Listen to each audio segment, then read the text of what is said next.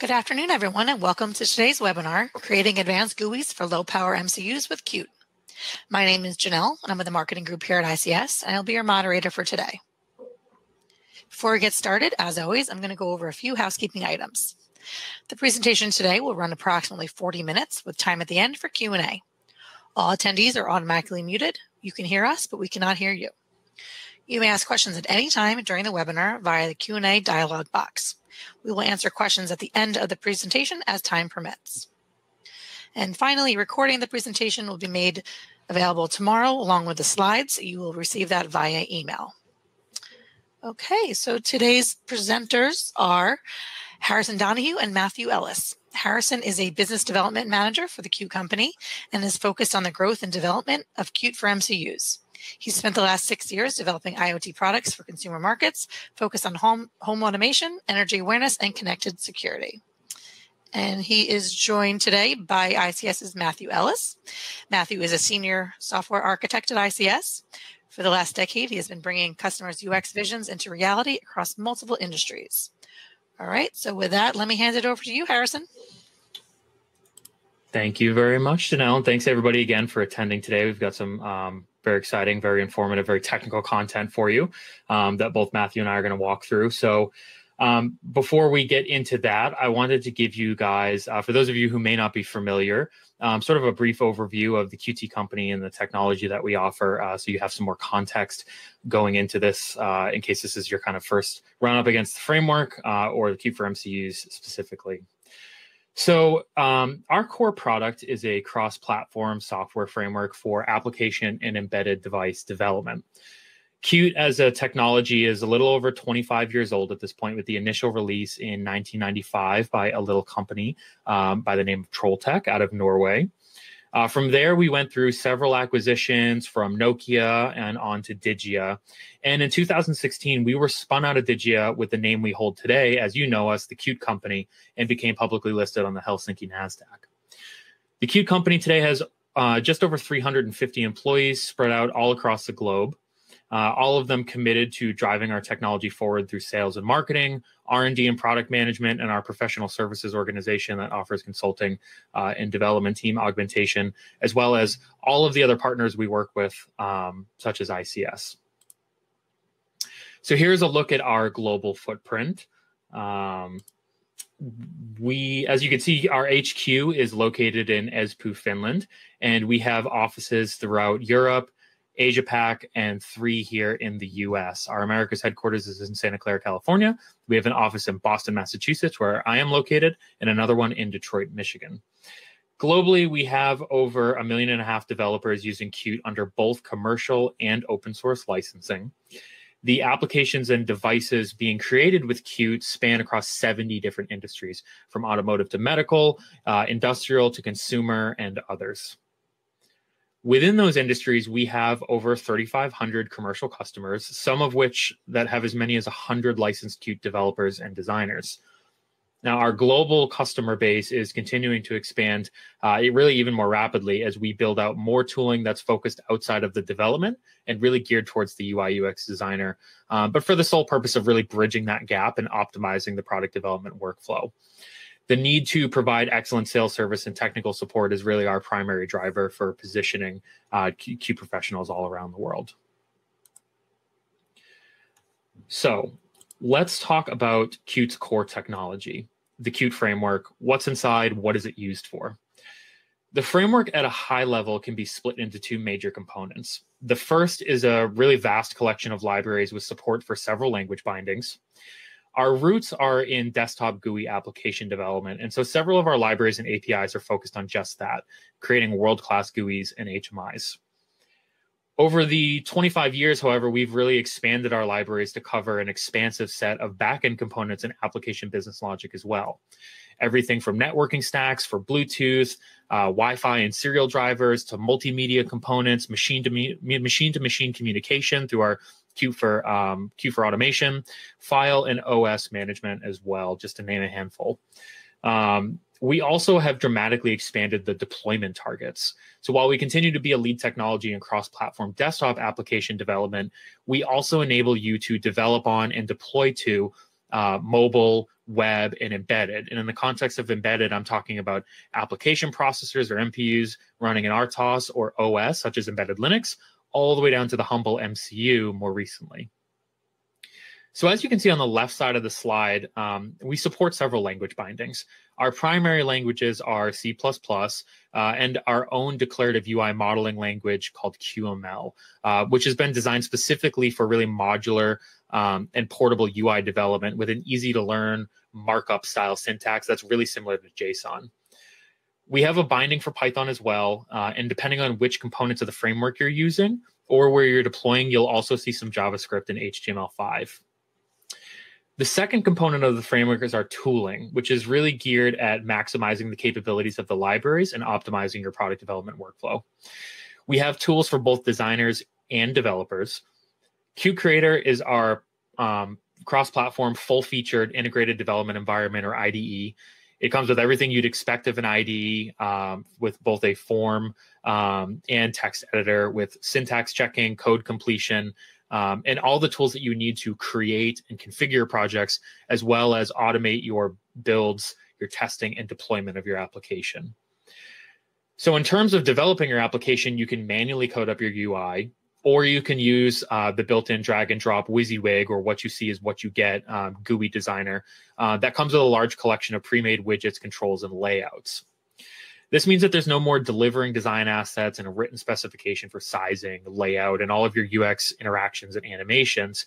Um, we offer a bridge and uh, plugin tool for importing your design assets directly from Photoshop, Sketch, Figma, and Adobe XD.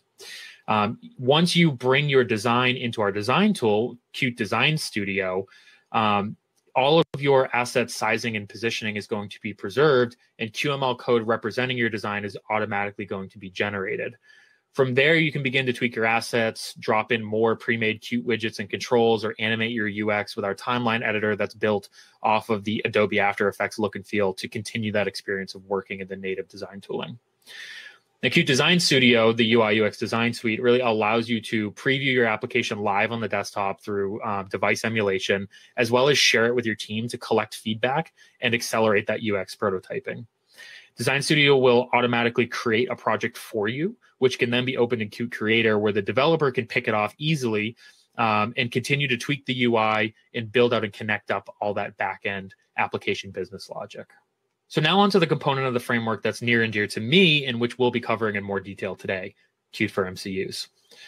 So Qt for MCUs is a relatively new component of the framework with the initial release at the end of 2019. So now a year and a half later, we've pushed out eight minor, although really major releases, um, packed with additional platform support, new APIs, uh, and support for other vendor tooling and workflow optimizations. We're continuing to push forward towards version 1.9, which you can expect to see around the end of the summer, and gain more parity with the upstream offering of Qt. The Qt for MCU's runtime engine, which we call Qt Quick Ultralight, is an entirely new runtime engine created from the ground up to meet the constraints around memory and processing power that comes with MCUs. You've probably seen attempts in the past to kind of shoehorn um, the MCU runtime engine into lower um, uh, lower power hardware such as MCUs. Um, but this is a totally different approach. We came back to the drawing board and built it from the ground up. It leverages the best of both worlds with a declarative UI that's built in QML, um, and that's to provide the abstraction that really allows for direct code reuse on other platforms and a C, C++ backend for native speed in your application logic. Now, ultimately, your QML that you're um, defining your UI with is converted to C++ by our build tool during the build process, and you can absolutely see what's generated there and modify it if needed. In terms of the footprint, the runtime starts at around 80K. We do offer a host of optimizations to minimize flash and RAM utilization where it makes sense for your application. And that's largely what um, Matthew is going to cover here in the, the latter half of the webinar. The rendering engine will make use of any hardware acceleration where present. Um, so in the case of NXP, their pixel processing pipeline or PXP, and on ST, uh, the Chrom-ART accelerators, just to name a couple if your platform doesn't have acceleration, most of our core APIs have a fallback implementation to CPU rendering. Uh, and we've put in the effort to really ensure that that's going to be as optimized as possible. In terms of where you can deploy, we've really put a focus on supporting ARM Cortex M7, M4, and M33 up front um, for the widest adoption and availability possible. We support several vendor platforms out of the box for both automotive and non automotive parts from Renesas, ST, NXP, Cypress, Infineon, and Xilinx. Um, but we also have a fully documented platform porting guide, which walks you through building up your own platform adaptation should you need another vendor or another part that's not supported. Uh, this also includes if you need to move to custom displays once you start to really build up your, your custom platform and get off of the EVK. And presently, we support bare metal and FreeRTOS if you are in need of a supporting OS. So, how can you leverage Qt for MCUs and the rest of the Qt framework to your advantage? Through open source and free evaluations of the commercial licensing, it's really easy to get your feet wet and begin exploring the capabilities of the API and tooling, which many of you watching the webinar today may have already done. Uh, our large ecosystem means uh, not only that it's easy to find support for your specific platform, but also solutions to your specific challenges are really likely to be found on most of the popular developer uh, forums for my Stack Overflow kings out there, kings and queens. The accelerated workflow and maintenance um, experienced by our customers and users are really testaments to the low total cost of ownership that Qt enables and generally the high return on investment. With 25 years of maturity, ISO 9001 quality certification, and vast industry and platform coverage, it means regardless of where you're deploying and what your application does, you can really expect stability and quality in every piece of Qt technology that you're using. Many of the markets our customers serve demand performance and scalability that it's high frame rate, uh, easy to scale to other platforms, and cover a variety of different um, pieces of hardware in terms of constraints and processing power. It is the highest priority of our R&D team, uh, performance and scalability, and second only to the quality and stability. Generally, our APIs are written in a way that offer a clear and effective path to tackling your solution, but we recognize there isn't always a one size fits all approach. So you're never going to feel pressure to change your existing workflow or processes, but rather be offered ways to optimize them. Being cross platform means never being locked into a specific vendor, which really gives you the power to remain competitive. When you choose to become a commercial user, you are entering a partnership with an organization that has a very clear business model that relies on your success we do continue to invest in our customer success organization that puts a focus on your projects, your team, and your company overall, with a goal to make your offering the standard for excellence. So let's look at these advantages in the context of avoiding the common pitfalls and minimizing the setbacks that we often encounter in our development process. Most of these pitfalls are due to um, unexpected changes in requirements, time, or budget during development, right? But also sometimes due to a lack of user testing. We have a variety of libraries with APIs for quick implementation from UI widgets to backend networking stacks, as I mentioned before, which really allows you to get started quickly. The Qt Quick API based on QML really facilitates modular and reusable code, which allows you to pull from past projects or move more quickly should you need to change platforms. Now, in terms of resources, if you're in a sudden need for new heads, new developers, or designers, uh, Qt has a really large global developer base, so you're pretty likely to be able to find somebody who's had experience working with it. Uh, and if not Qt specifically, then even more so uh, likely with C or C++. Qt's tooling and common API across the platforms really allows you to be more agile in your development. Uh, and this means you can shuffle members of the team around more easily as they'll be working with code they're already familiar with, even when they may normally work on a totally different platform, say moving from mobile to MCU the ability to do device emulation and deploy in the form of an executable through the Qt tooling enables truly rapid prototyping and the ability to more efficiently gather that user feedback in the early stages. Now, having a focus on accelerating your time to market uh, generally puts our customers ahead of schedule and can really ease those scenarios where you lose significant time due to some of these unexpected changes. And then finally, being cross platform and platform agnostic uh, means that you are never starting from scratch. So, with that, I will pass it over to my colleague Matthew to dive into some of the really informative technical content that's going to further set you guys up for success. Thanks again for your time. I hope you guys enjoy the rest of the webinar, um, and I will talk to you at the Q&A. Over to you, Matthew. Thanks, Harrison. So uh, let me just start off with uh, telling you a bit about ICS. Uh, so ICS has over 30 years of experience in user de- interface design and software development across um, many high performance industries, including medical, consumer devices, automotive, to just to name a few. We provide uh, development services for a wide variety of technologies of particular relevance. In today's uh, webinar, as we have a wealth of experience with uh, Qt, uh, development. And also we have our sister company, Boston UX, who uh, provides user experience and visual design services. ICS is headquartered in Waltham, uh, Massachusetts, with offices in California, Europe, and actually up here where I am in Canada. So I always like to start customer engagements um, by asking uh, why they chose the platform and kind of what are they looking to achieve. Some of these are typical answers I've received and may resonate with your motivations. You know, you want to keep your hardware costs low to keep your end product costs low. Um, you may be even reducing your hardware costs by adding uh, a touchscreen for the first time. Uh, you may be, you know, it's a competitive advantage. Either your competitor has it uh, and you need to catch up, or uh, you expect them to have one in the future too. Uh, another thing is is kind of to differentiate your product line um, uh, from the other products in your line.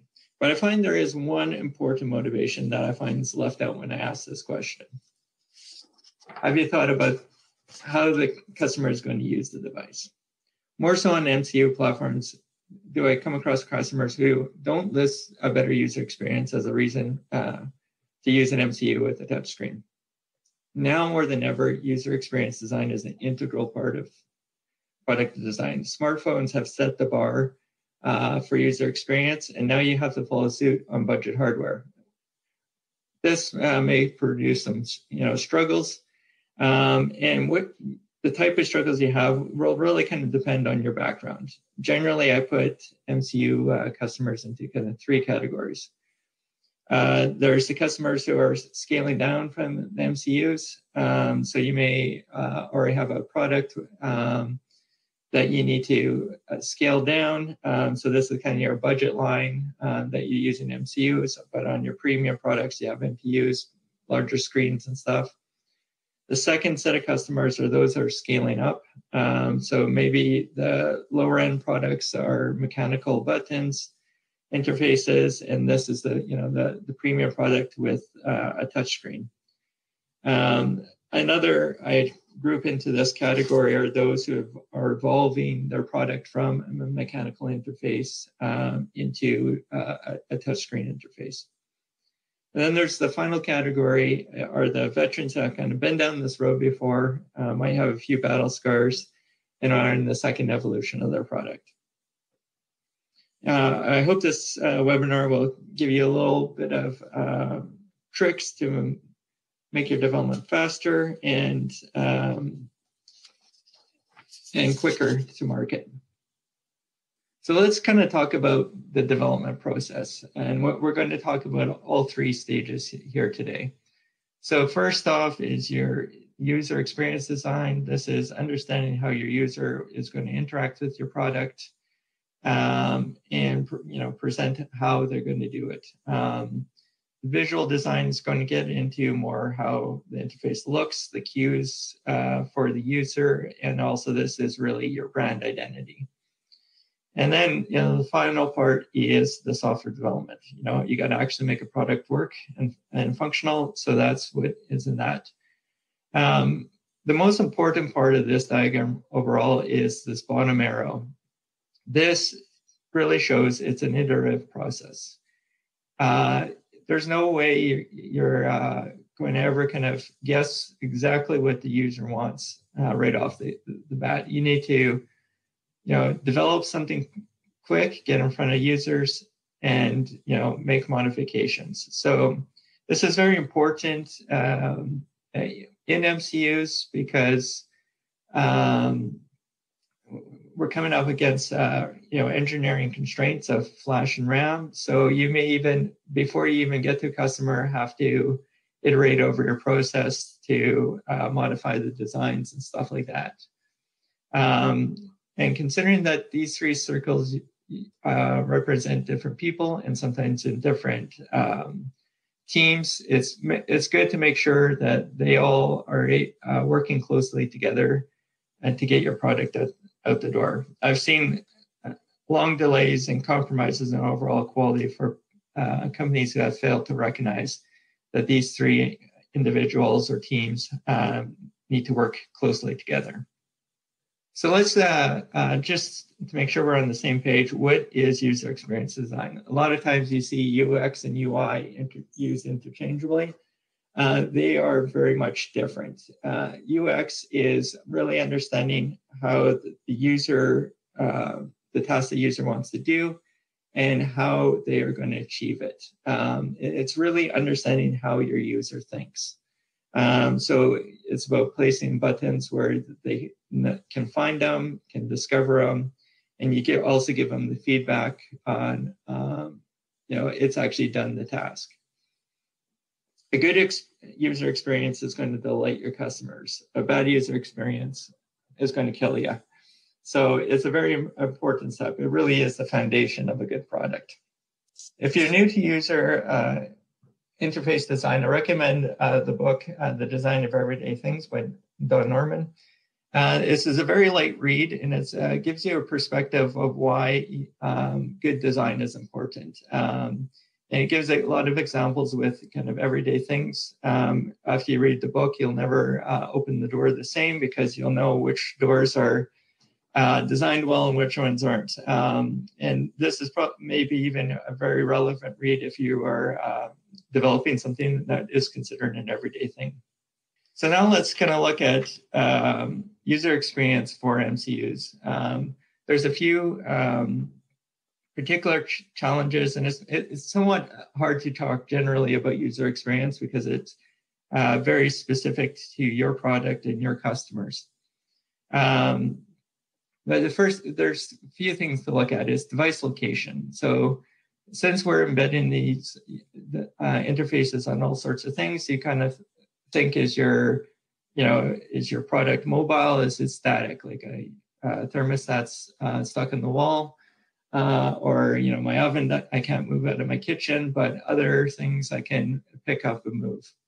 Um, and also you know they could be you know height and uh, angle and stuff like that indoors outdoors are all things you need to consider um, in coming up with a good user experience uh, you also have to factor in that you have smaller screen sizes um, and resolutions so um, in some cases you may also have um, technologies like resistive um, touch screens instead of capacitive, which is a little different uh, um, experiences because they're not as responsive as capacitive. All these things you have to factor in. And this is kind of an important one for that one bucket of customer I mentioned before of they're scaling down from an MPU platform down to MCU. Uh, um, th- these are the challenges you're going to kind of face in that. Um, and then you have to think about your uh, existing product. And this one's more um, important in those kind of going up from a kind of more mechanical displays to a touch screen. Um, it's how you represent what the customers knew before. You know, they knew where the late buttons were, what they did. Um, and now you have to translate that into a touchscreen. And then you also have to think about performance. Uh, don't ask kind of too much from your CU platform, um, uh, or you, will have kind of frustrating um, customers, but it's also um, about providing feedback to the, the customer if there is something slower. So the first thing to look at is is the the device the right place for your your task. Um, so you can offload um, uh, processing to other devices um, by using either a companion app or a web application. And this is becoming more and more common, and people are are more and more used to it. So I might buy a, an embedded device, but I also will download the app for it on my phone. Uh, and this also uh, kind of um, gets over some of the challenges of uh, of a device. So if I give an example of an oven, um, I may want to you know have recipes, and this is something you want to offer your customer. Well, sitting in my kitchen uh, at a display that's at waist level, browsing through recipes on a small screen is not really a great uh, user experience. But if you give me that ability on the uh, phone or on my computer, uh, I have I can sit in a more comfortable spot, browse the recipes on a bigger screen. I can also take the cell phone with me to a supermarket for groceries. And then I can send that down to the device and, and do the actual cooking. So think of the kind of overall picture and um, and then you can create a good user experience. Now let's kind of look at a, a, a use case here. So on the, the left-hand side, I have two screens um, uh, of the existing product, and um, which is going to be improved to just use a touchscreen. Um, so here we have kind of two screens. There's uh, something to set a temperature. Uh, you know, I have mechanical buttons for start, stop, uh, up, down arrows, and uh, you know, uh, menu button. Uh, the second screen is the menu screen. The up and down arrows will let me select which one um, and such. So overall, on the right, let's look at this first screen. We have some nice improvements. The up down arrows are more closely associated with changing the value. The start stop is, is there. Um, we're even able to do kind of a larger uh, you know, numbers uh, for better visibility. Um, and then on the uh, menu side of things, we can show more items and, you know, users can click directly on them instead of having scroll directly. Um, but what's interesting here is there's kind of one usability thing that was lost. If I'm in this menu screen, uh, I can't stop the device. And this is something that you may not catch right away because you know everyone who tested it will will stop it and only ever go into the, the menu screen uh, when the device is off. But of course, your customers, for some reason, wants to get in here um, while they're cooking, and that's when you find it out. So you know you could have gone you know many months down the roads before. Uh, you ever kind of discover this. So, kind of best practices for UX. Um, share your design concepts early with engineering so that your engineering team can raise concerns um, about um, any of the concepts. If if you you know find things that maybe you're not sure if it's going to perform well or how it's going to feel for the customer, it's a, it's easy to create a, a prototype. This is where I'll um, you know sit down with a UX or visual designer, and we'll pull up uh, Qt the design studio. We'll come up with a quick concept, get it on a board, and then we'll start sharing it with users. Um, and and that, you know, that's the kind of last point is get it in front of users early. And users don't have to be external to your company. This is a great time to engage your sales team, marketing team, and kind of get the rest of the company, you know, involved is let them play with it and just sit back and observe uh, how they they use it. Uh, you may find that maybe your buttons are too small, or maybe they can't find the information, and this is a good way to re- uh, refine it before you get into uh, more high fidelity um, interfaces and stuff like that. So uh, it can really uh, reduce your design time. So now let's uh, start talking about uh, visual design. So visual design, you're going to come up against your um, hardware constraints. So the first is uh, your your flash. Your this is your storage. This is where all your assets are going to go. Um, so your images and your fonts are going to take up far more room than any of the code on the device will uh, typically. So um, the visual designer has a major impact on uh, the use of, of the, the, hardware constraints. And this also plays into the factor of uh, the RAM usage, um, because uh, obviously this all has to be rendered. And um, depending on the visual effects you have, performance can be a consideration uh, as well.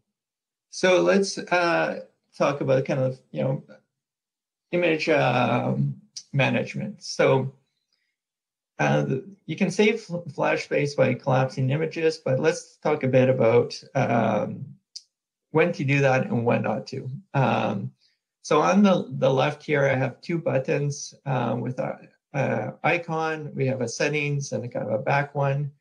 Um, this is a, uh, a good example of um, when not to collapse images, because if you were to collapse it and you had uh, the background plus the icons, uh, you, your, your net uh, flash size is going to be uh, increased. So in this case, I would keep the icon separately and just have one background image.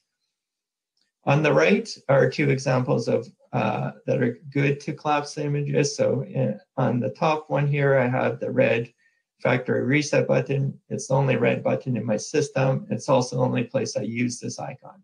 So that's a, a good um, one to collapse. Uh, and then over here, uh, the bottom two is that now the background is closer to the size of the icon.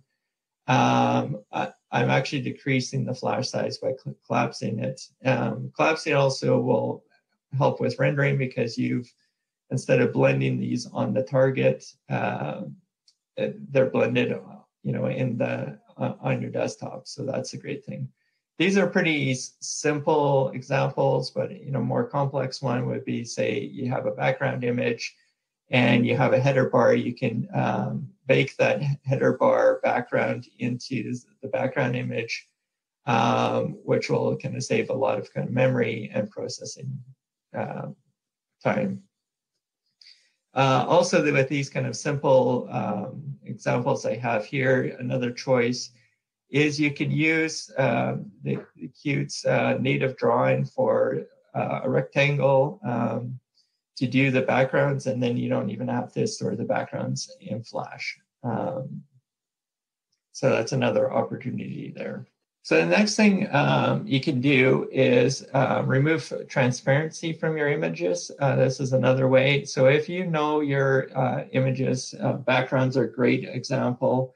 Uh, but if you also have uh, fully opaque images, uh, you can remove the transparency. Uh, here I have a screenshot from Photoshop. On export, you, there's a button that says whether to export transparency. So I would just uncheck this and it, it's going to reduce uh, this size of your, your file, which is a great way to save flash. And you're not using that transparency anyways because it's completely opaque. Obviously, if if you have transparency, you're going to have to keep that in uh, so that uh, the rendering of the, the, the Qt uh, engine will be able to um, do that blending.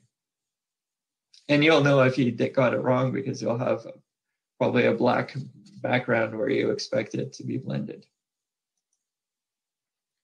So another popular um, uh, technique that you see um, because of uh, made popular on iPhones and, and, such is blurred black backgrounds. Um, blurring is uh, an expensive operation, so this is best uh, to be done uh, in your design tooling. So the trick here is, as you see, like in this example, the um, overlay is blurred of the background. So what I've done here, you can see on the bottom of the screen here is an image that overlays the unblurred background image. So you just kind of add this over top. And so all it is is just two images over top, but it creates that blurred effect. Um, and this is kind of a nice one to have that kind of fancy look, um, but uh, not um, kill the performance of your MCU platform. So, kind of a final uh, one on um, visual design uh, comes with kind of 16-bit displays. Um, uh, is you, you, get color banding. Um, as an engineer, my favorite uh, way to get around this is I just tell the visual designer to avoid gradients, um, but that may not always be uh, um, welcome uh, suggestion. Um, solid colors do can look uh, nice, but um, uh, it might not be what you're visually looking for. Um, so this the second technique here is you can take your image in uh, uh, like Photoshop, for instance. There's other things. Uh, I've used Photoshop the most. Uh, and you can add in a, a Gaussian um, uh, a blur or a noise, I should say. Um, so you just like Gaussian noise and a range between one and three percent. Um, just kind of play around. So generate the image, throw it on a device, and you'll quickly see. Um, hardware dithering may also be available. Um, uh, and kind of fix these problems. If it's not, or the performance isn't uh, what you desire, you can turn it off and use these techniques. That's a uh, a very nice one to do, and that, um, I've had great results with this. So, kind of final note on visual design is. Uh, I find it's important to understand your key elements of your design. What like what's ne- negotiable and what's not negotiable and uh, prioritize those things um, uh, so that when engineering comes back and says that you know I can't fit all the images on Flash and stuff, you, you know what you can sacrifice uh, quickly and kind of make that revision um, uh, quick, and so you're not spending hours uh, in meetings trying to figure out what, what you're going to sacrifice uh, going forward. Okay, let's get into development. Um, so I've hopefully uh, offloaded much of the work to the UX and visual design, so uh, to make um, my fellow software engineers uh, work easier. But there's still going to be some work here to, to do uh, to get a, a great performance uh, out of your Qt for MCU system. First, let's look at images. So images by default in, in Qt for MCU are exported as um, uncompressed. Um, so this will save you in Flash, um, which is great, um, especially in a low RAM situation. But if you you are also um, more worried about your Flash space, um, you can use compressed images. Um, so there's kind of two uh, ways to uh, specify this. You can do it overall. There's a uh, the QL default compression on. You set these in your CMake, and this will compress uh, all your images by default and export them. Of course, this is going to use a lot more RAM. Uh, you're more likely to use uh, the second one, uh, where you're going to um, kind of tune it per image. So you can specify on each image whether you want it compressed or not compressed. So if it's you know so maybe something that you're not using very often you can compress it um, things like backgrounds you may, may want to uh, say on your main screen have uncompressed and stuff like that. So you can play around. And this is a good way to uh, kind of tune it uh, to get that right balance between uh, ram and flash for, for your system. Now for also gives you a bit of control of uh, here with um, how uh, the images are uh, doing. And this is kind of more of a performance consideration. If there is high latency from your flash, you may want to copy it in RAM, uh, but this also uh, gives you some uh, flexibility if you have compression as well. So the first um, uh, parameter you can have is never. Um, this is for um, uncompressed. So this will render your images directly from Flash. Uh, so no um, RAM will be harmed in the, the rendering of the, uh, this um, image. It will be all from Flash, which is great for uh, low RAM. Um, and then you have kind of two other options. Um, so you can load all your images up at startup.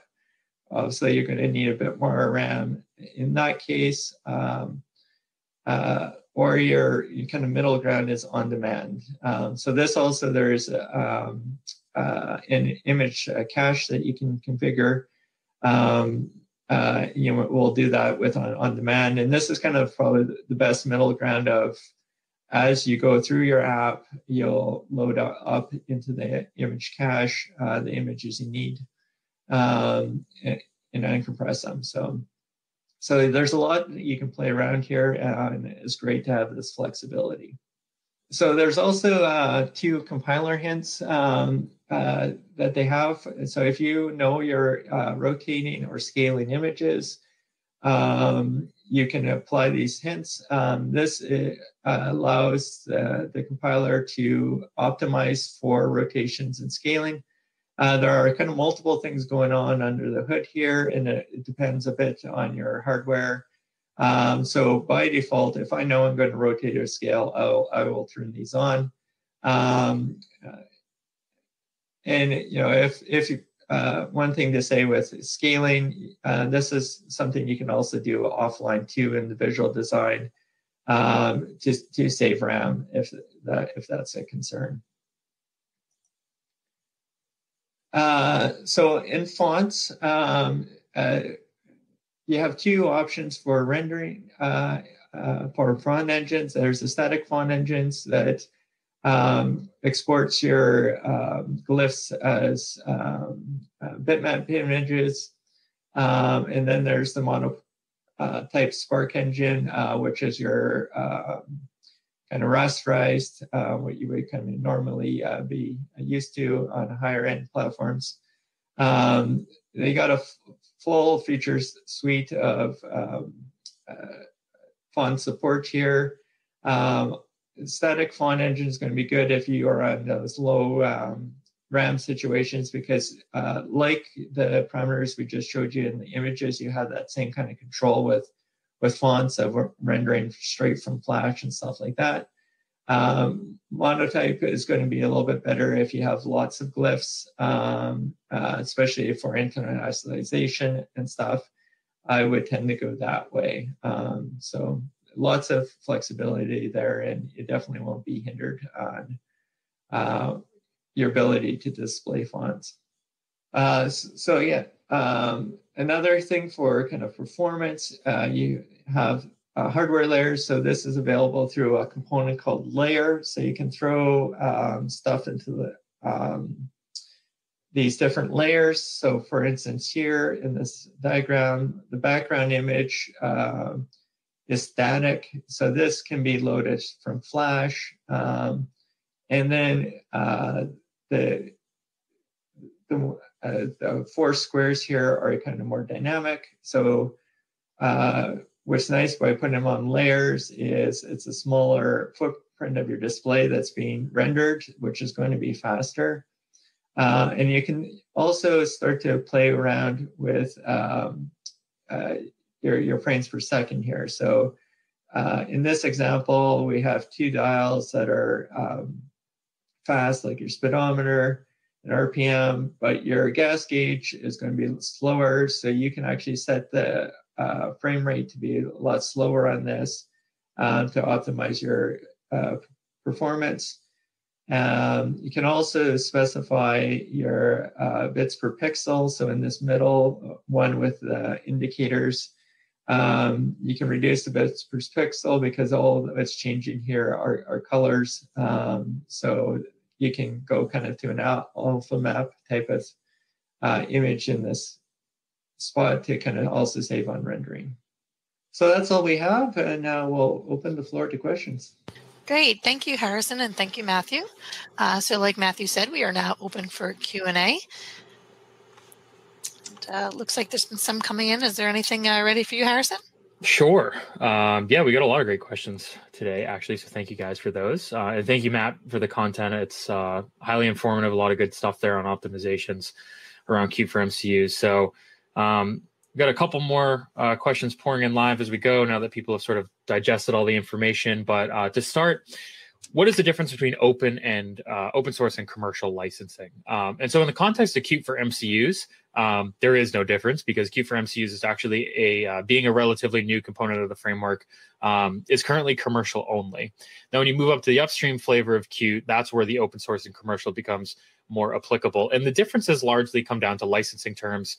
Um, if you're putting this in a for profit product, if or if you are a university or somebody who's building a personal project, um, generally uh, it would be sort of restrictive to some of the libraries that you may have access to, depending on um, GPL versus LGPL, um, but at the at the MCU level, there's there's really no difference because uh, it is commercial only.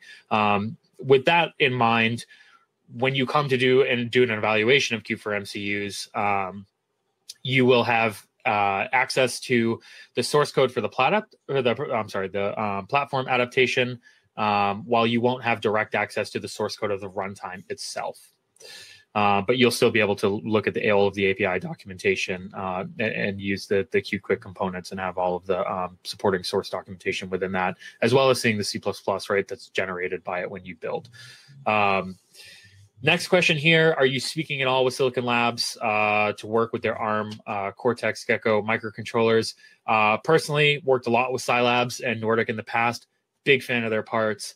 Um, I think the problem with some of the Gecko parts presently is just the available size of internal flash and RAM. Now, if you can put something um, external to that or your application is really simple, um, there's a good chance that there's some compatibility there.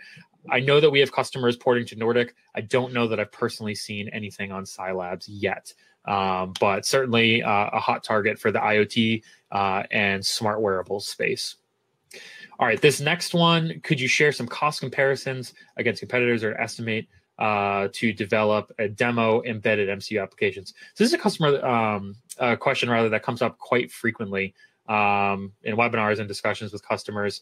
Uh, I will say it's pretty hard, as you can imagine, to sort of pinpoint an estimate on what it would cost to develop um, an application in terms of, uh, I guess, competitive frameworks. There's plenty of options out there from totally free and open source things like TouchGFX um, to other commercial solutions like Qt.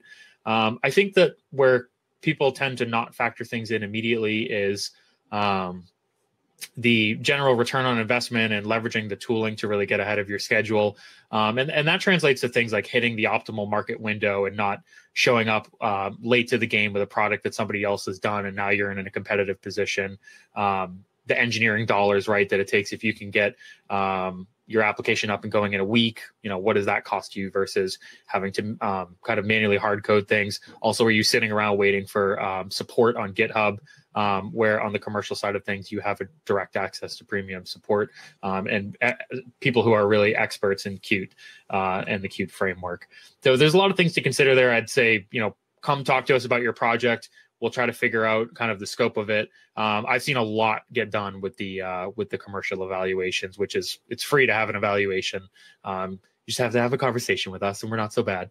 Uh, so I would encourage you to come come have a conversation with us. Let's learn about your project and see how we can help you guys. Um, man, there's a lot of questions pouring in. So in regards to RTOS specific features, um, and what do you support in comparison with the general OS?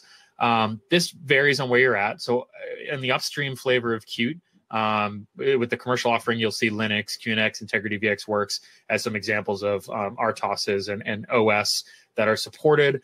Also, at that level, um, Qt provides libraries uh, for thread support, uh, sort of in the in the form of platform independent threading classes and thread safe ways of posting events, like signals and slots connections across threads. Um, in general, obviously, multi-threaded programming is a very useful paradigm uh, for for performing time-consuming operations without freezing the user interface. Um, Qt also provides a resource system for organizing, organizing application files and assets, uh, a set of containers and classes for receiving input and printing output.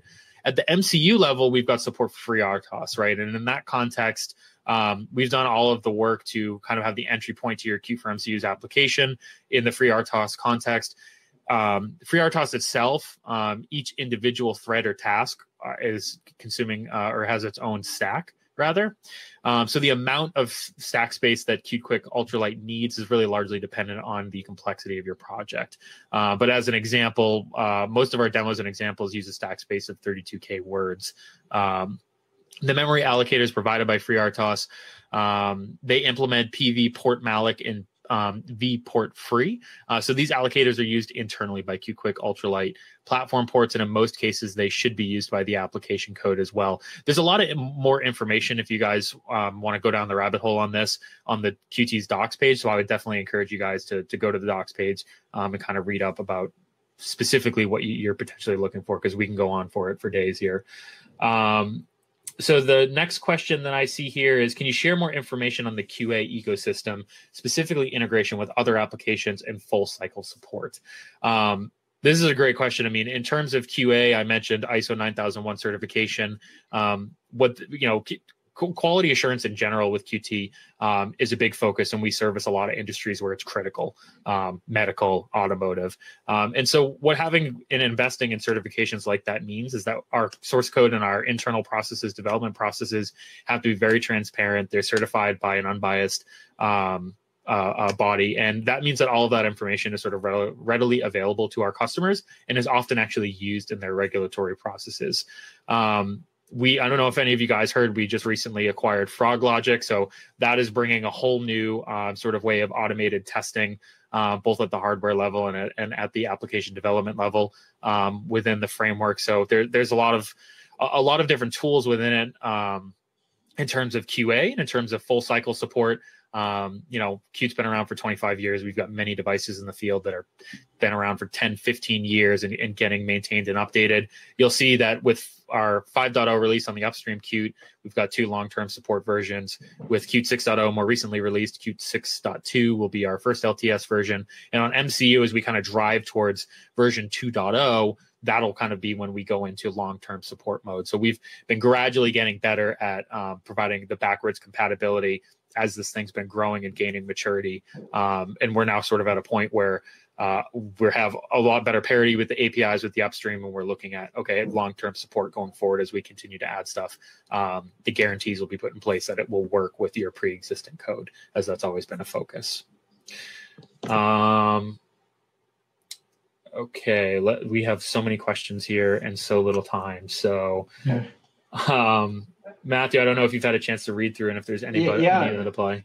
Okay. Yeah. So uh, one here. Um, so one is, uh, can you elaborate the feature to set uh, FPS and bit depth on your component? Um, so if if you look at um, there's it's the layer component. Um, uh, there's uh, for uh, there's a refresh interval um, is what you set to set kind of the refresh rate, and then there's also a depth. Um, and uh, you can set the item layer depth. So like, for instance, you can say uh, item layer dot uh, BPP16, uh, we'll set it to a 16 bit there. So uh, if you look for item layer uh, QML type, uh, you can find out more information on that one.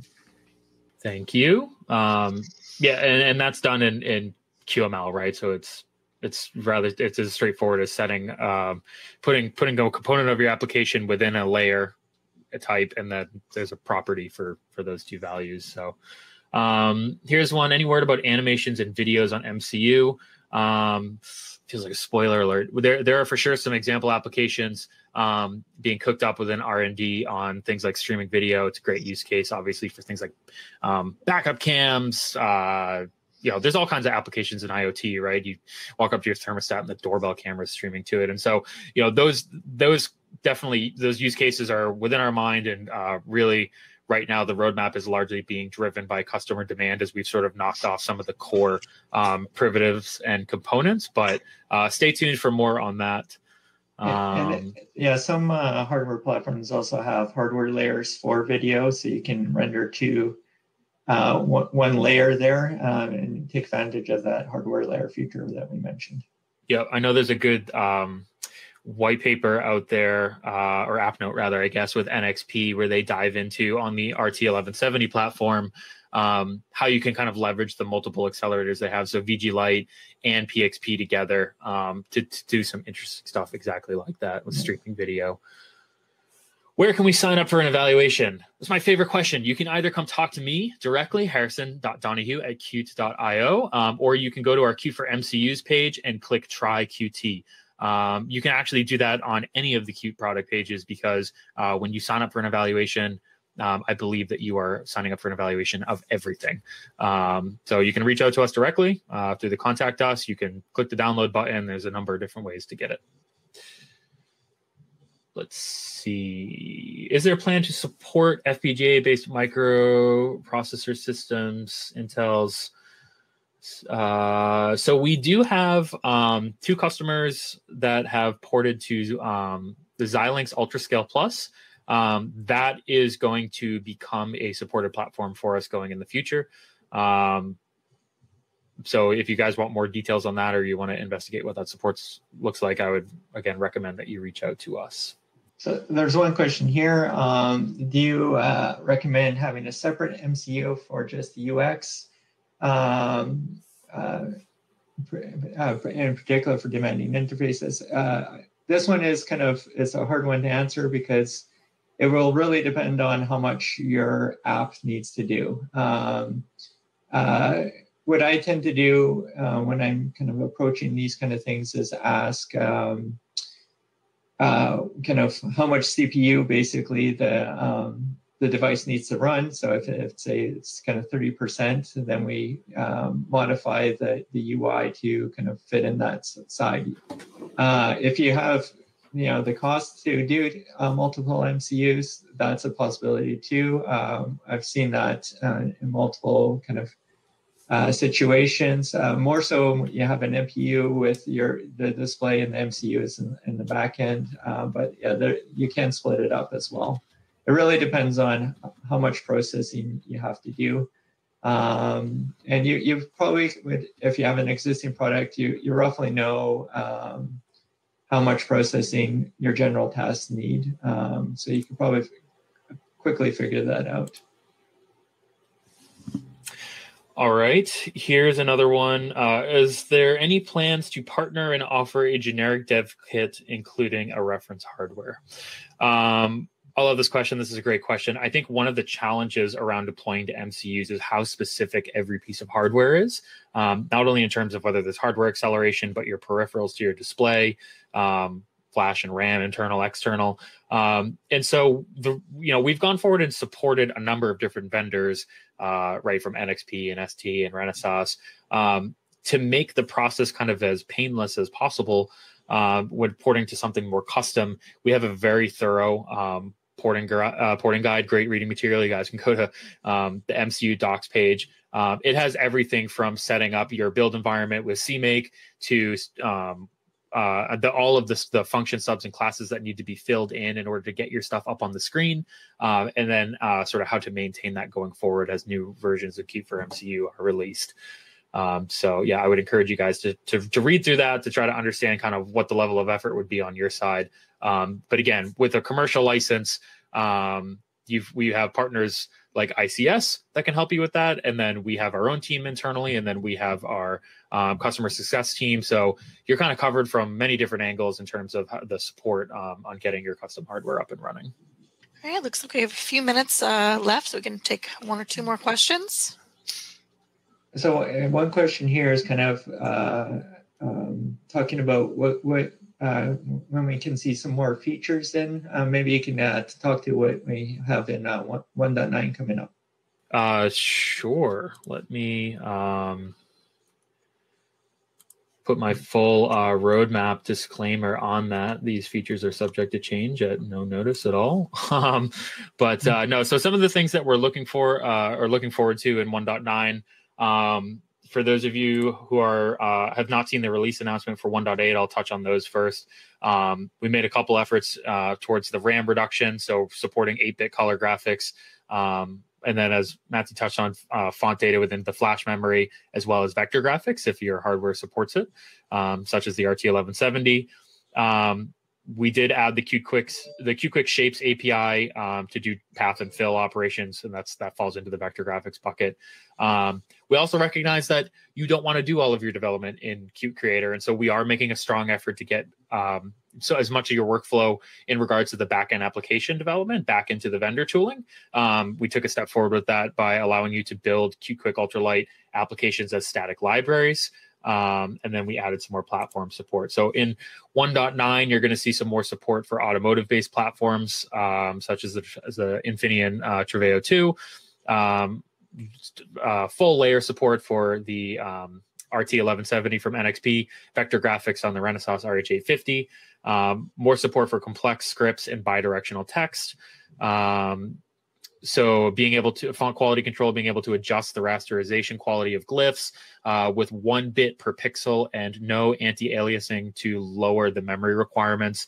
Um, we'll also open up the development, um, the host application development on Linux. So right now, um, MCU development is on Windows only uh, with Qt Creator That we're looking to open that up at, um, uh, with Linux, and then we'll release that camera example I was kind of teasing um, with the um, with images from a camera and streaming video.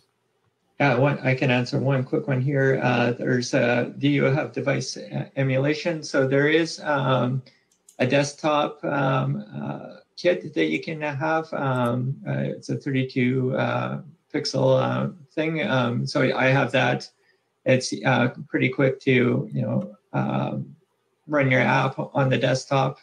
But since everything's integrated too, like I was, uh, you know, when I first started, I was using uh, NXP RT 1064, and it was very easy to flash to the device. It just takes, you know, a minute or two, uh, not a minute or two, kind of a minute longer kind of thing to do.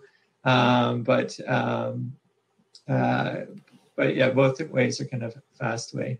All right, great. Looks like we're just about out of time today. So thanks everyone for attending. Any of the questions we did not get a chance to get to uh, on this live webinar, we will do our best to follow up afterwards. Um, so thanks everyone for attending. Thank you, Harrison, and thank you, Matthew. It was very informative. I uh, wish we had some more time here today. Um, and we thanks everyone for coming. And like I said, keep an eye out for the webinar on demand uh, and the slides, which will be coming tomorrow. Enjoy the rest of your day, everybody.